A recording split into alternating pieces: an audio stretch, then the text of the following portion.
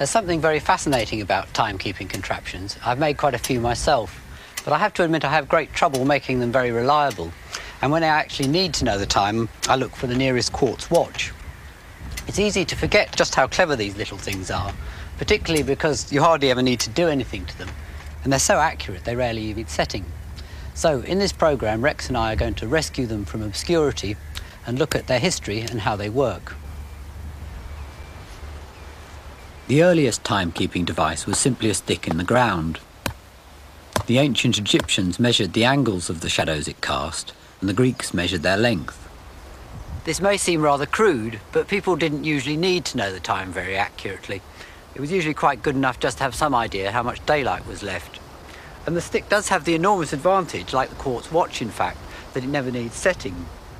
The Greeks and Romans also had water clocks, but these were mostly just bowls with a hole in. Clock started. They were used as timers for rationing irrigation water. That's it. Time's up. Oh, that's right. My campus is hardly dampus. They were also used in the courts for timing the speeches. Unscrupulous senators are said to have gone to great lengths to make their opponents thirsty to shorten the speeches.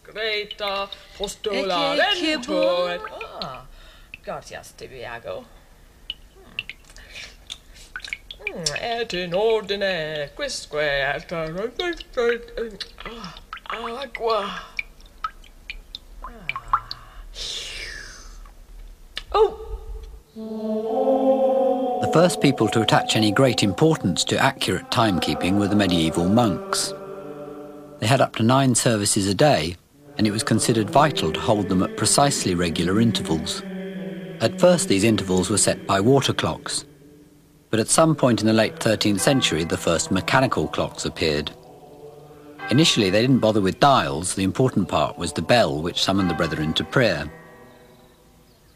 Our word clock comes from the French cloche, meaning bell. This particular clock is one of the oldest still working in a church. It's about 400 years old. Although it obviously doesn't look at all like a quartz watch, the principles on which it works are, really remarkably similar. If I take a quartz watch to bits, you can see there are basically four parts inside. There's the display, the battery, the silicon chip, which is under this blob of plastic, and this little tin can that contains the actual quartz crystal. It's actually a lot easier to understand how one of these things works by looking at the clock in a bit more detail first. The display is obviously doing the same thing as the dial on the clock, and the battery powering the watch is doing the same thing as the weights in the clock tower, but also the crystal is actually providing a regular beat in very much the same way as the swings of the pendulum, and the silicon chip is controlling the whole thing just like the gearing. The heart of the gearing mechanism is the escapement, which interacts with the pendulum. It pushes the pendulum to keep it swinging. At the same time, the escapement is held back by the pendulum, regulating the clock's speed.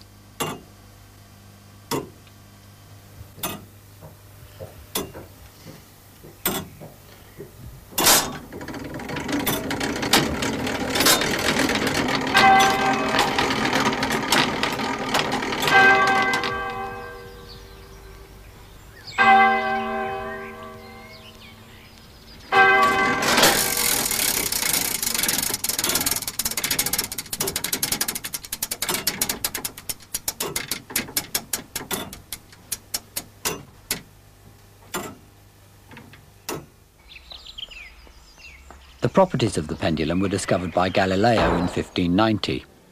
To mask the pong of the peasant congregation, the priests used a swinging censer to fill the church with incense. Galileo realized that the censer was taking exactly the same time to swing from side to side, however far out it went.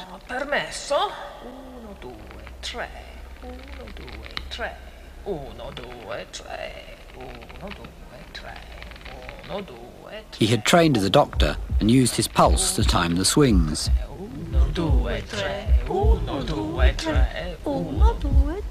Galileo was in need of an accurate clock for some of his astronomy observations.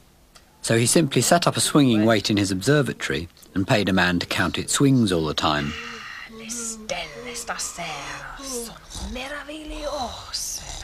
Bellissime, bellissime. Ma cosa fai? The solution to this problem was to fit the pendulum to a mechanical clock, and this has remained the basis of clockwork ever since. This is the escapement wheel and pendulum of a water clock I'm building for Felixstowe Town. The water acts like the weight on the church clock, pushing the escapement wheel round. The escapement interacts with the pendulum in the same way.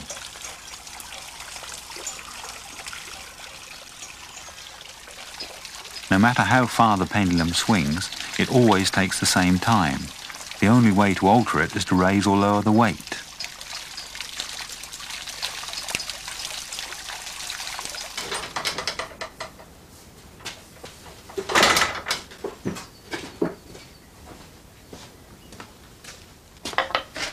It's not obvious how a lump of quartz could possibly do the same thing as a pendulum, but it really is quite similar. The quartz does move. This is a bit of crystalline material similar to quartz sandwiched between two bits of metal. And if I connect this up, I think you should be able to see it move.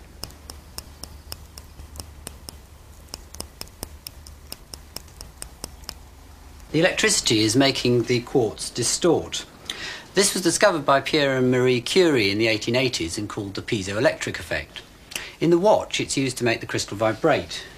Here I've cut a crystal out of its tin can, and under a magnifying glass, I think you can see it's cut in the shape of a tiny tuning fork. It vibrates in exactly the same way as an actual tuning fork.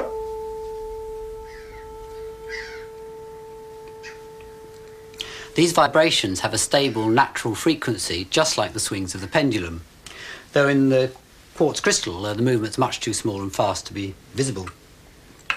The piezoelectric effect also works in reverse. So if I distort this cylinder of crystalline material, by squashing it, it actually creates some electricity.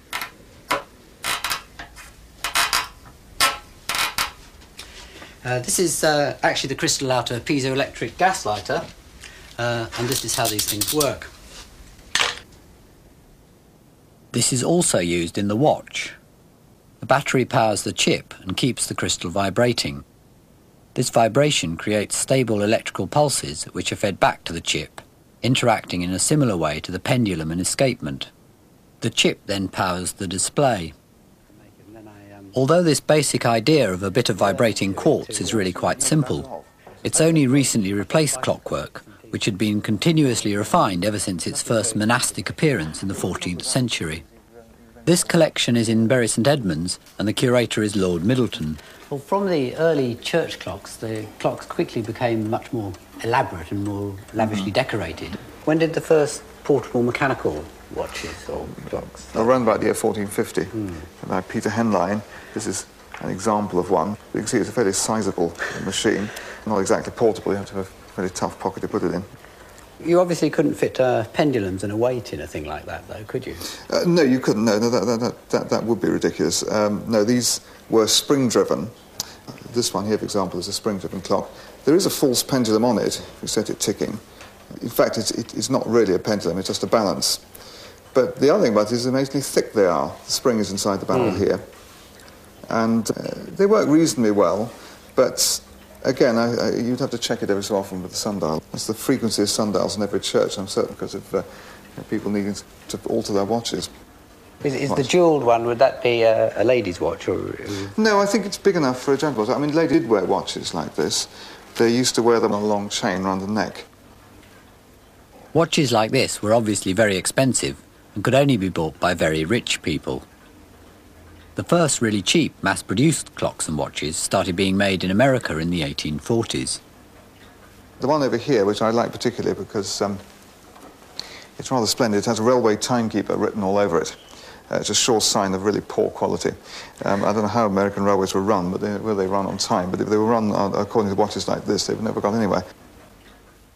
Not only could ordinary people start to afford a watch, with the coming of factories and railways, they actually needed one. Always leave plenty of time to catch a train, but However, watches were still set by sundials, so the time was slightly different in every town.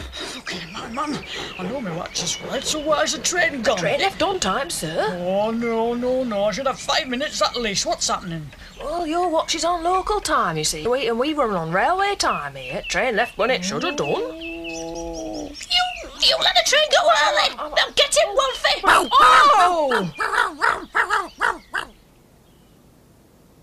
The idea of wristwatch is surprisingly recent.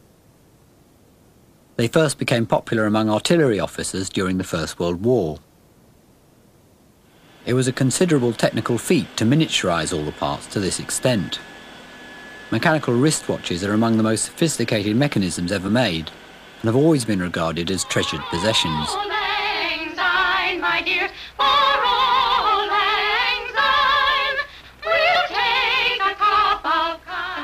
Proud. Oh, just wait till the gang sees this. Hey, kids, come on running. Oh, it's just perfectly perfect. And so are you, both of you, Mom and Dad. Well, Sally, you're our big girl now. Mother and I wanted our present to tell you just how proud we are of you. Riley, what is it? Look, Mrs. Brown. Oh, my God. Oh, it's beautiful. Today it may seem obvious that electronics provides a simpler way to miniaturize the watch. But it wasn't until the 60s that all the parts became small enough to make the idea practical. This is the first electric watch introduced by the Hamilton Watch Company in America in 1956. Inside, it doesn't really look very different from an ordinary mechanical watch. There's a little balance wheel, but there's a tiny electromagnet on it which keeps it moving backwards and forwards. The really remarkable thing was making a battery this small, though most of the development work on this was done by the military, mainly for use by spies in their radios. The next electric watch to appear was far more rev- revolutionary. This is the Bulova Accutron. It's got two tiny electromagnets you can see here. At the third stroke, it will be 4, 37 and 50 seconds. The Bulova Accutron uses a new electronic timekeeping principle, a tuning fork. Listen. A tuning fork to give you accuracy to within a minute a month, guaranteed.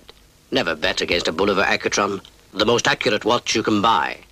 You can see this easier on this uh, Bulova clock. Um, if I pop a battery in, I think you'll be able to see the tuning fork here start to vibrate. This really is an exact mechanical equivalent of the quartz watch. The idea of using quartz was nothing new. The first quartz clock had been developed as early as 1929 in the prolific Bell Labs that also invented the transistor in the 40s. But these quartz clocks, like this German one, use much larger bits of quartz, that's the quartz crystal down the bottom, and rather bulky electronics. This is the uh, first true quartz watch, introduced in 1967 by the Japanese firm Seiko. The Americans then regained the lead, and uh, the Hamilton Watch Company then introduced the Pulsar. This is the first solid state watch with no moving parts. These are rotary watches. This one has a traditional Swiss movement and a very handsome face. This is a rotary quartz watch, devastatingly accurate. This is a quartz watch too, but it's like a little computer. You press this little button and look, first the time, then the day and date, and then the seconds. Very clever. It'll look smashing on your wrist. Rotary every time. The bright red displays on the first digital watches used so much power that they could only be switched on occasionally when you actually needed to know the time.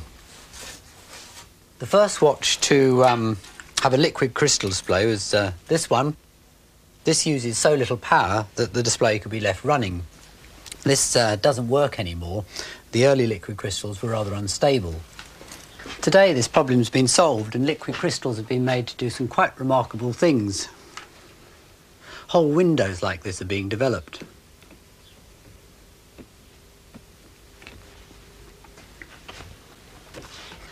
This is a bottle of liquid crystal. It's actually a liquid. And the watch display is made by sandwiching it between two bits of glass. Um, if I clip them in here and uh, put a drop of liquid on top, it'll slowly sleep it, seep into the gap. Oops. Mop up the surplus. Um, now, these two bits of glass are coated with a square of a transparently thin metallic layer that can conduct electricity. So if I now, um, whoops, connect it up, uh, one on the top here, and uh, one on the side, it doesn't appear to do it doesn't appear to do anything at all. What we need to make a complete display is um, a pair of Polaroid sunglasses. If I hold one lens behind the other and rotate it, you can see it goes from light to dark. Well, if I now um, put the uh, sunglasses in the clip as well, one lens in front of the sandwich um, and uh, one lens behind, like that, and now I connect it up again, you should be able to see the electricity has the effect of polarizing the liquid crystal material. I can show you just how little electricity this uh, needs to make it work. If I hold on to one wire, simply touch, touching the cell with my other hand is enough to make it work, although the electricity has got to pass through the resistance of my body.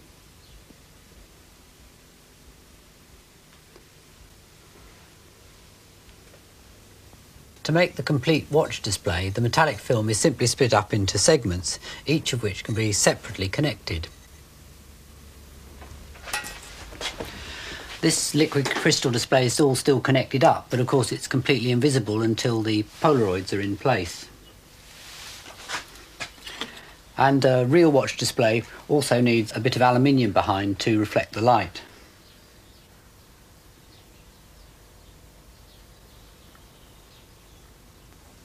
The chip in a quartz watch is equally ingenious. Here we've made up part of the circuit in separate stages. The first one keeps the crystal vibrating. This one divides the output from the crystal to give a pulse every second. This one counts the pulses. You can see the lights coming on in sequence.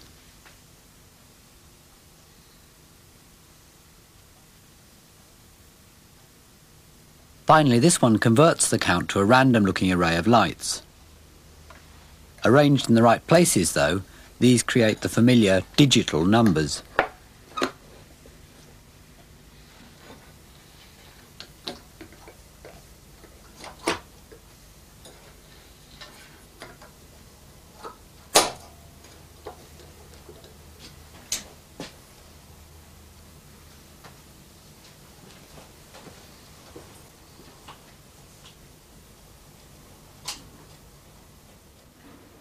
The idea of a digital display wasn't new. It had appeared several times in the clock's history. This is an illuminated night clock from the 18th century. Electromechanical digital clocks started becoming popular in the 1960s. But although digital displays tell the time very clearly, they do still have their drawbacks. The opera. I wonder what the time is. Uh, 5.49, and then if I'd be there by about 6.02, it won't stop before then, will it? But leave me with 13, 13... No, no, it must be 13 minutes. Excuse me, madam. I wonder if you could tell me what time it is. Yes, love, it's 10 to 6. 10 to 6? Oh, good heavens!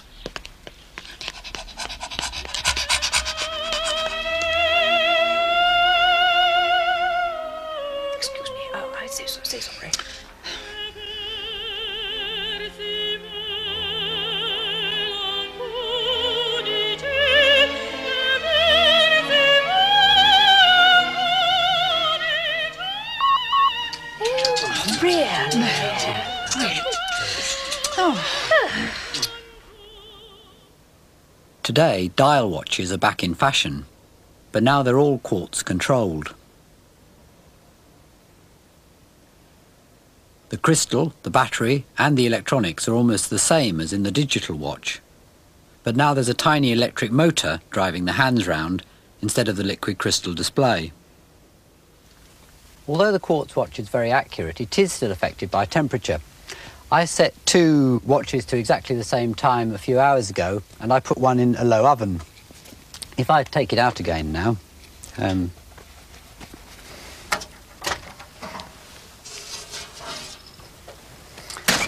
it looks a bit of a mess. Let's take this bit of plastic off. And the liquid crystal display goes completely black. It stops working above a certain temperature. But I think if I, if I leave it to cool down now, you should be able to see that the um, quartz has been affected by the heat and they no longer tell the same time.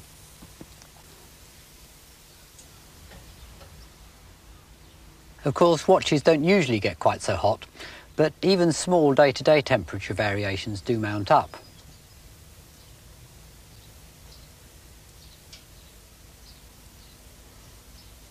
Keeping the quartz crystal at a precise, even temperature greatly increases the accuracy.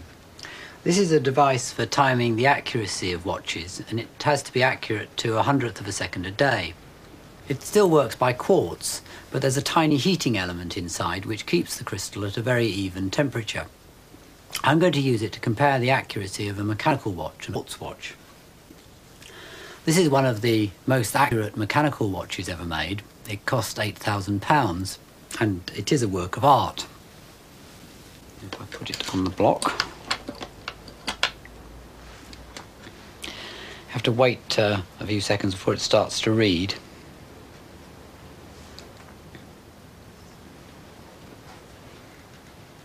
And you have to average several readings. Over about a minute, I worked out that this one was averaging about two seconds a day fast. Now, if I compare this with a one pound quartz watch, it's on a different setting, you can see this is averaging less than a second a day fast. In general, quartz watches can be about 10 times more accurate than mechanical ones. Some time ago, I bought a cheap digital watch from a filling station. And it worked perfectly for about four months, and then the battery failed. So I set a battery carrot and realised that the cheap plastic case was actually physically welded together, and there was no way you could actually get at the works. So I set about it with a hot scalpel blade and halved the watch. And I eventually got to the watch compartment and found that the replacement battery I'd got was much larger than the original. So I then had to modify the inside of the watch to accommodate the new battery. And that meant making new contacts for it, etc. And eventually I got it together. Took about two and a half, three hours. And the watch worked perfectly, and I was very pleased, very satisfied. It's lovely repairing something which was never designed to be repaired. But unfortunately, my satisfaction didn't last very long. The following day, the strap broke, so I had to throw it away, much to the amusement of everyone in the workshop.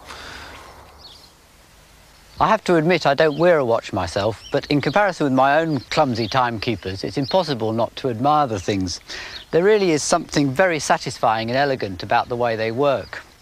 It's a shame, really, they cost so little. This one only cost 60p. That people seem to regard them as almost totally disposable. Watches certainly aren't the treasured possessions they once were.